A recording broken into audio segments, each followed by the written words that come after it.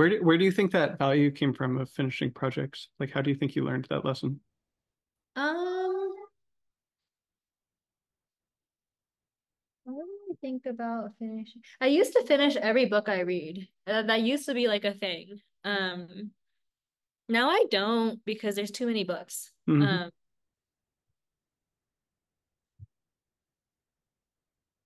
I find it satisfying. I don't know. I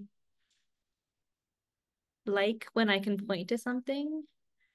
Um, it might just be like experientially, I feel accomplished if I finish something, and I don't feel accomplished if I've only done it 80%. Mhm. I like the finishing, like, I don't know, it's like it's done. I don't know. Hmm. Like I don't, I don't think I like necessarily learned it anyway. It's just like I would rather have it done than not done because then it might float around in my brain forever, you know, and sap up energy. So I noticed that as soon as I'm trying to do it the way it should be done, it just kills all the joy and fun, and I feel extremely stifled and like yeah, like I just I can like feel like a lack of air.